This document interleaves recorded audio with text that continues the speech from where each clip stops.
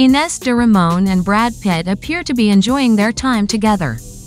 After moving in together in February, the famous pair is apparently becoming even more committed.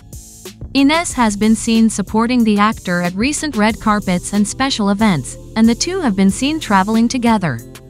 It started out as a fun and casual relationship, but after moving in together, they realized that they have something special, an insider revealed to People magazine, explaining that they are serious about their relationship and making plans for the future.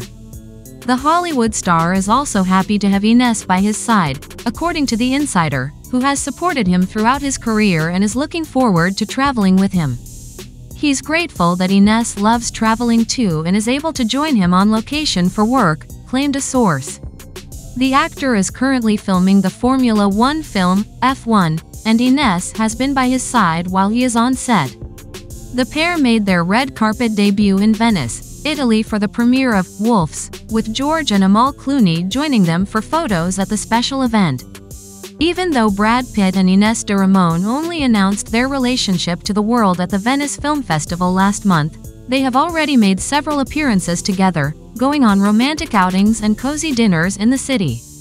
The Wolfs actor and his jewelry designer girlfriend stepped out for a day date in Malibu this weekend to attend the Rock 4 Exabytes benefit in California, and they looked stylish as ever in matching neutral tones. Brad upped the style ante with some beige and yellow tone neutral trousers, while Swiss-born Ines looked sensational in some form-fitting brown pants with matching leather-pointed court shoes. The Oscar-winning actor chose an open collar for their white shirts, while the brunette wore a low-cut tank top. The movie star added gold jewelry and aviator sunglasses to complete his ensemble.